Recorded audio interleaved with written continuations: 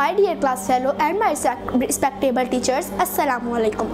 My name is Aila Noor. I am from grade 6 series, the Kids Club Grammar High School, Sambrial. Today my topic is blessing of Ramadan. Ramadan is the spring of good deeds. The month of Ramadan is revered by Muslims across the world. The Ramadan is the ninth month of an Islamic calendar. The Islamic religion is founded on five pillars faith, prayer, charity, fasting, and Hajj.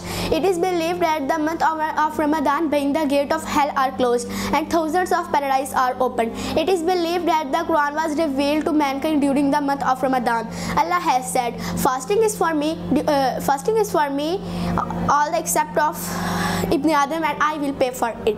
आ गया आ गया, माह रमज़ान आ गया आ गया आ गया, माह रमज़ान आ गया। भर लो जोलियाँ, फिर रहमत गफ़ार से। भर लो जोलियाँ, फिर रहमत गफ़ार से।